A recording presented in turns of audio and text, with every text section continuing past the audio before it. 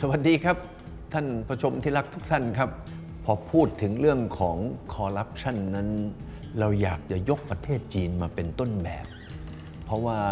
เป็นโมเดลที่คนไทยเรานั้นควรจะศึกษา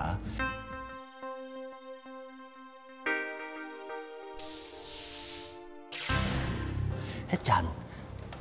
ผมอยากทราบหน่อยว่า การที่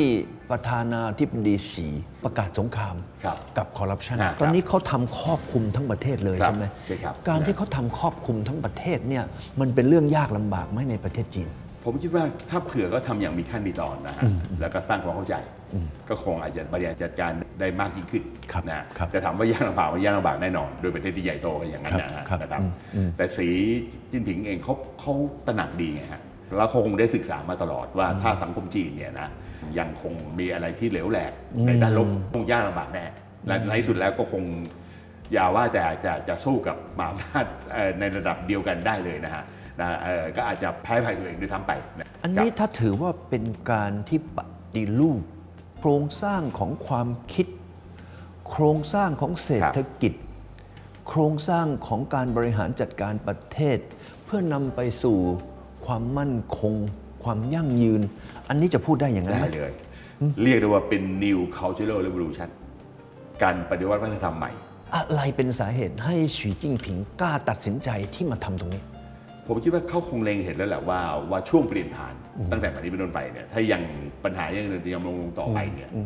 คงรับจีนคงลำบากและด้วยอำนาจที่ตัวเองมีอยู่ของสีจิ้นผิงเนี่ยคงจะแตกต่างกับผู้นำคนอื่นมากๆเลยนะเนื่องจากว่า background ที่เขาเติบโตขึ้นมาเอ่อแบบที่เราทราบกันอยู่นี่นะฮะไม่ว่าจะเป็นพื้นพื้นฐานทางการศึกษานะครับหรือว่าการเป็นลูกของผู้นำพรรคที่ที่เป็นน้ำดีอะไรอย่างเงี้ยนะฮะหลาย ๆ ตัวแปรเนี่ยรวมๆไปแล้วเนี่ยคงทำให้เขาเห็นเล็งเห็นละว่าถ้าเผื่อไม่ดำเนินการแบบเนี้ยก็จะยากลำบาก ถ้าจะมาพูดกันในสรุปคำง่าย ๆ ว่าสีจิ้งผิงนั้นยึดประเทศเป็นเกณฑ์ครับ มากกว่าปัญหาใช่ครับอันนี้ ถ้าก็ป็นเขาส่วนสำคัญตั้งโจทย์เลยบอกว่าประเทศเนี่ยเขาต้องการยึดประเทศครับเพื่อนำไปสู่ความเป็นผู้นำโลกครับการที่จะเป็นผู้นำโลกนั้นจะต้องมีความเข้มแข็งใช่ครับมั่นคงมั่นคง เขาคงยึดตัวนี้เป็นเกณฑ์ ส่วนไอ้ที่เขาจะต้องไปเสี่ยงอะไรต่างๆเนี่ยเขาถือว่าเป็น the second ไหมใช่ครับใช่ครับนะครับก็คือยึดเอาประเทศชาติประเทศชาติและประชาชน นะฉะนั้นจะเห็นเล็งเห็นว่าสีจิ้นผิงเองเนี่ยเดินทางไปเยี่ยมเยียนคนยากจนบ่อยมากนะแต่เรียกว่าทุกครั้งที่มีเอ่องานเทศกาลสำคัญสำคัญนะฮะทั้งสีจิ้นผิงแล้วก็หลีเฮ่อเฉียงเนี่ยก็จะเดินสายนะเดินสายไปตามชนบทตามที่ต่างๆเพราะเขารู้ว่านั่นคือเสาหลักที่แท้จริงของความอยู่รอดได้ของประเทศชาติจีนท่านผู้ชมครับ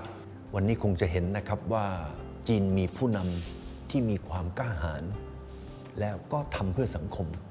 เราคงจะต้องไปคุยกันต่อนะครับ ขอบพระคุณทุกท่านครับ ที่ติดตามชมรายการของเรา สวัสดีครับ